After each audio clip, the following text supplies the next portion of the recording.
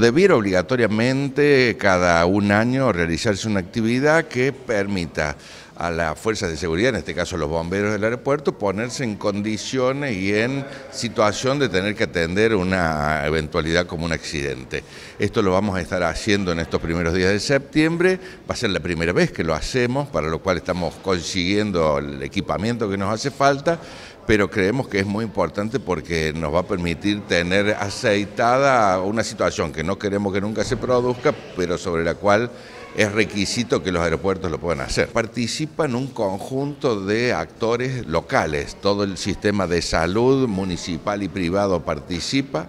Participa Defensa Civil, participa eh, todo lo que es el acomodamiento de la infraestructura municipal que pudiera hacer falta, el corralón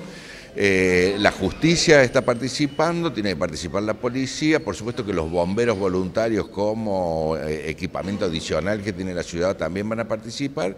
y vamos a requerir, como se ha hecho en algunas otras oportunidades, la colaboración de algunos colegios para efectivizar una situación que pueda ser como de, eh, tanto de accidentados como de gente que colabore en el rescate de aquellos que se accidentan. Nosotros tenemos casi, podríamos decir que como promedio, una frecuencia de un avión por día en el aeropuerto, de distinta envergadura, de distinto tamaño, pero eh, yo claramente estimo que tenemos presencia diaria de aviones que deberían tener certeza de que el dispositivo para atender una eventualidad de este tipo está tomado.